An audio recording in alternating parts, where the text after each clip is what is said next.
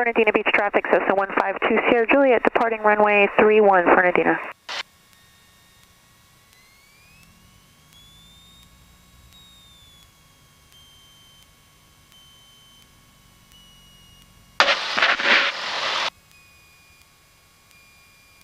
And this will be a simulated turn back to the runway. For anybody out there that cares. All right, here we go. Notice how on my takeoff roll already I'm pulling back just a little bit on the yoke just to keep that nose wheel nice and light. So it'll fly itself off the pavement when it's ready. Feel that? Yep.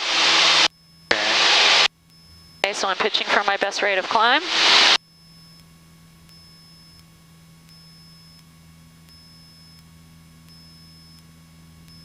Fernandina traffic says now 42 X-ray crossing runway 279er, Fernandina.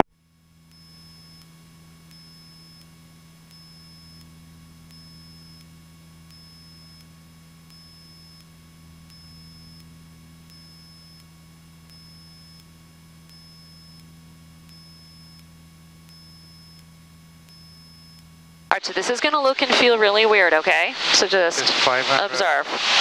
Okay, there's 500. Oh man.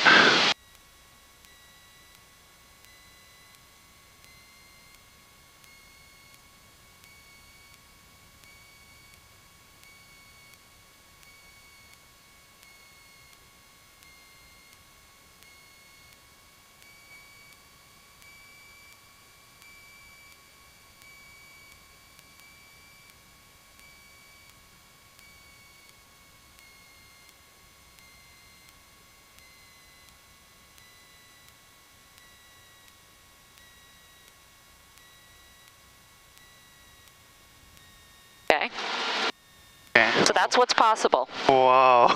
That's what's possible. But look what you have to do to get that to happen. Some fairly aggressive maneuvering, but it's possible, right?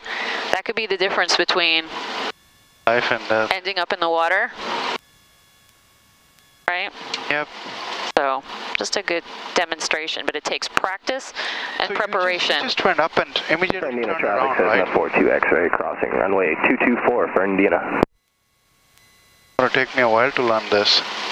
I'm not suggesting that's something that you should do right now if it happened to you, okay? Your best case for survival right now, if you were soloed right now, would probably be to just Slow put it down. in the marsh, right? Just try to slow it as much as Right. you know But with practice, that's totally possible. okay. So when all of a sudden you just dropped the throttle. That was to keep the airspeed. I had to immediately lower the nose. Okay, so you deliberately did it yourself. Correct. So I I wouldn't stall.